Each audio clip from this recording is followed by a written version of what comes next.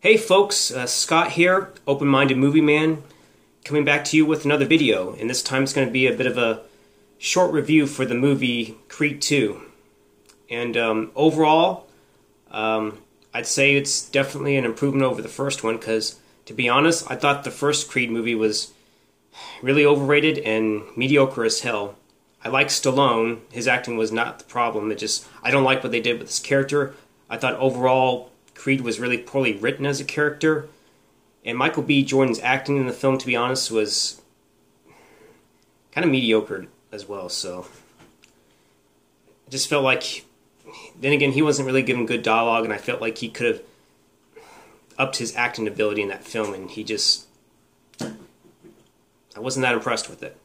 But I think this time with a different director, and I think with better screenwriters, because the original director Ryan let me see what's what's his name Ryan Coogler. Yeah, Ryan Coogler. He's he also wrote directed the first Creed movie. He didn't return for this one, but uh, someone else. And that guy's name for Creed 2 is uh, Steven Caple Jr. And you had Sylvester Stallone this time write the screenplay. And I think that's why the film overall had an improvement. Not to mention, um, Drago is back in this one and involves Drago's son. So at least the aspect of Drago is what kind of made me curious to give it a watch and you know go and see it.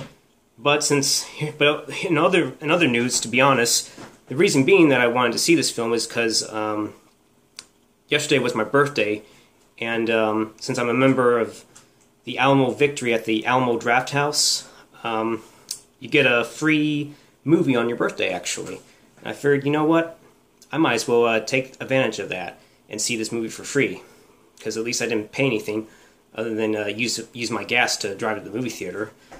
But anywho, um, yeah, I wanted to give this movie a chance because, um, like I said, I wasn't really that impressed with the uh, with the first one because I thought overall it was overrated and mediocre as hell. This one I thought was an improvement, and um, I think Creed had a little bit more to fight for in this one, and you know he had to prove himself. I think Michael Michael B. Jordan's acting was improved in this one. I felt like there was a lot more dynamic to him, and um, he had to really learn because I'm not. I don't want to spoil the movie too much because he did get really owned in that first fight with Drago. It showed that you know emotions can get the best of you, especially when something something from the past that had killed your father or someone had killed your father in the ring, and now you're facing his son, and then you're kind of you know, facing up against the guy that killed you in some way, that's not exactly an easy easy thing to deal with, especially in life. So, anyways, we see that you know in the beginning, Creed has really, you know, earned uh, the the title of world champion. Uh, of world champion, he's 23 and one, as it says in the in the fight. He knocks out this one dude. I forget what his name is, but he basically uses his uh, speed and tax- tactics to uh, to uh, defeat his opponent. So, however, there we also notice the kind of effect that um, Ivan Drago has uh, has uh, succumbed to after losing that fight to Rocky. We learn that uh, he lives alone with his son somewhere in Kiev. I think it said Kiev, Ukraine, I believe. Um, it doesn't say in the in the summary plot or the Wikipedia su- summary plot, but anyways, I could swear somewhere in U- Ukraine, and he's basically uh, you know working kind of a kind of a heart dead end. I don't know if it's a dead end, but it's a it's a job of that probably no one wants to take. It involves a lot of manual labor and and strength to combat the stuff required to complete your skills in that job field. So I guess in a way uh, we also see that uh, Creed's son, who's played by this. Uh, boxer. What's his name? Um, Florian Mont Montin. We'll just call him.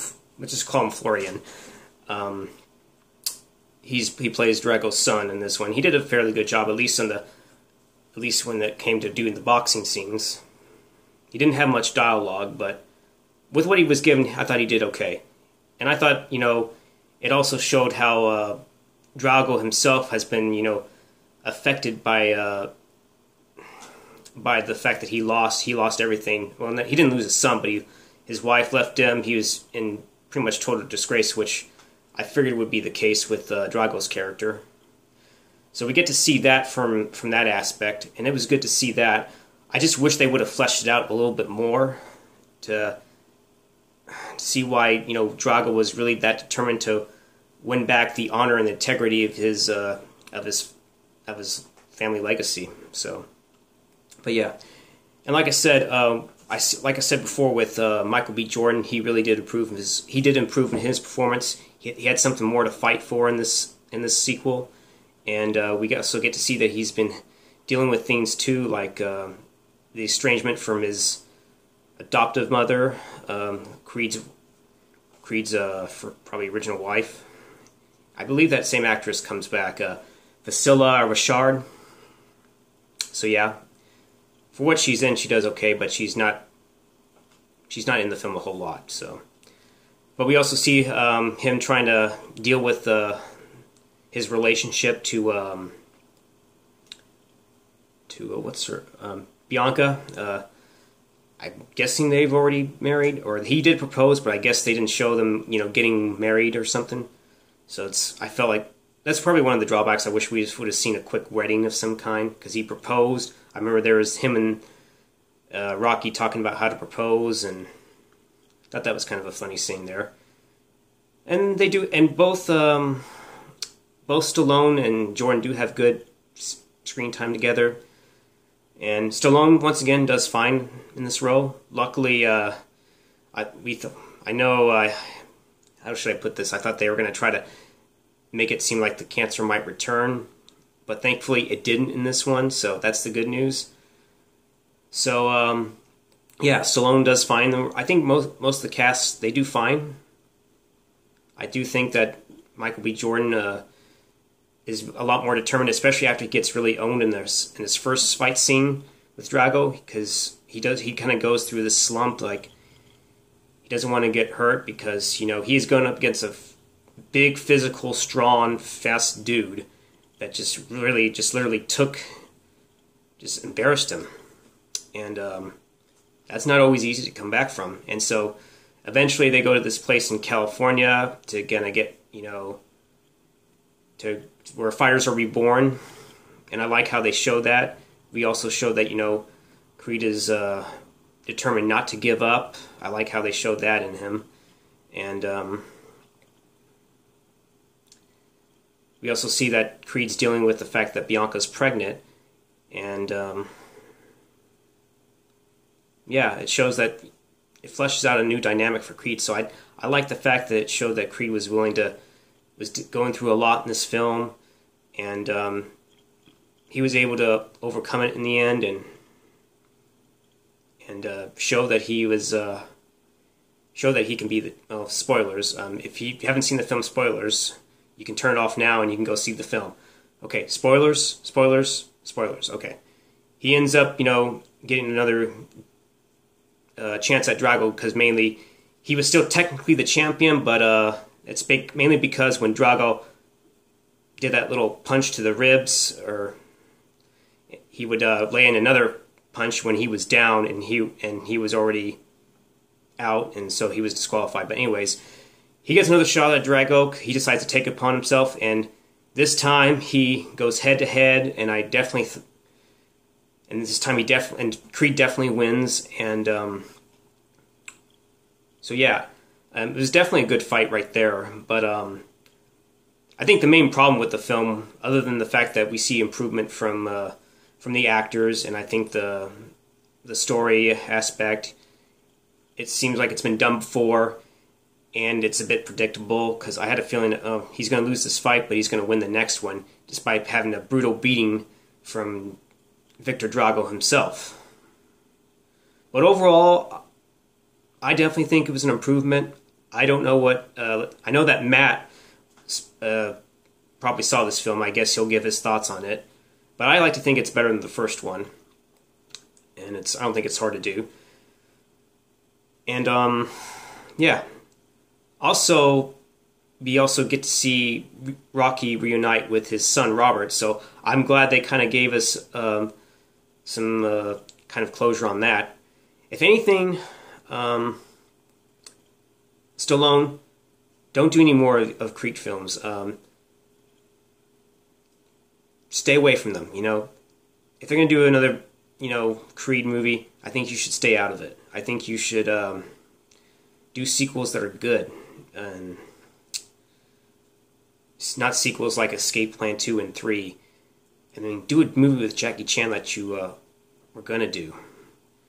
Just, just don't kill off, just don't kill off your character with cancer, man. Rocky deserves better. Honestly, it should have ended at Rocky Balboa, but yeah. Um, what else was I going to say? But yeah, overall, I, I, enjoyed the film. It was definitely, you know, worth the, at least a, a, uh, a look. At least I'm, I may or may not see it again, but I didn't have to pay anything for it, so that's the good news. But I end up thinking that it was a decent film, and yeah. Okay, as to what I would rate it, out of five stars, maybe three, three and a half. If if if I went with that rating system. So, anyways, anyways, I thought overall the sequel was definitely a, huge improvement, and all the actors do fine in the roles. Just wish they would have fleshed out the Drago side a little more. Um, the overall story was predictable you, you know if he's going to eventually find a way to get his confidence and drive and determination back to fight Drago. So, yeah, those are the things that kind of knock it down. But anywho, um, yep, I like the film, and if you really, if you're interested in checking out, I give it a watch. Okay, well that's gonna that's gonna do it for me, and pizza here. Mmm.